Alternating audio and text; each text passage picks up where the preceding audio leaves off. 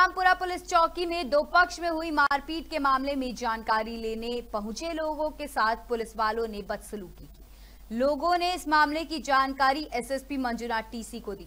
SSP ने मामले को गंभीरता से लेते हुए पतरामपुर चौकी इंचार्ज सहित दो सिपाहियों को सस्पेंड कर दिया। जसपुर से प्रदीप श्रीवास्तव की रिपोर्ट। बीते रात बहुत ही दुर्भाग्यपूर्ण और एक बहुत ही गिनहोनी एक हरकत सामने आया है हमको। जसपुर थाना क्षेत्र का पतरापुर चौकी क्षेत्र, चौकी में एक मतलब दो कर्मचारीगण ड्यूटी पर तैनात थे।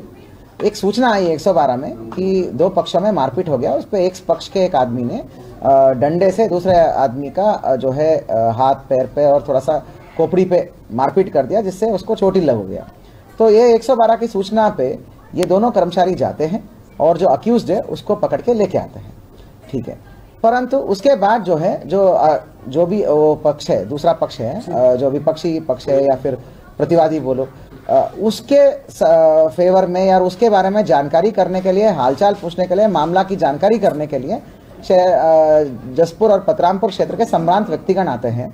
उनके साथ ये जो सिपाही है कांस्टेबल सचिन वो जो है नशे की हालत में धुत होकर उनके साथ बदसलूकी करता है बदतमीजी करता है और बहुत ज़्यादा हॉट टॉक और इस प्रकार की बदसलूकी और धक्का मुक्की करने का ये जानकारी में आया। ये सूचना जब तत्काल जो है, स्थानीय लोगों ने सम्रांत लोगों ने अभय को, अनुषा को और एसएचओ को बताते हैं तो एसएचओ तुरंत फोर्स रश करता है। एसएचओ और एसएसआई तुरंत फोर्स रश करता है। वहाँ बहुत हैरानी की चीज़ें सामने आई है। ये जो कांस्टेबल सचिन है, ये पूरा नशे की हालत में धुत है और सचिन और अनिल, जिन्होंने रेस्पॉन्ड किया अनिल को बीच बचाव करके कम से कम सचिन को तो पीछे करना चाहिए था।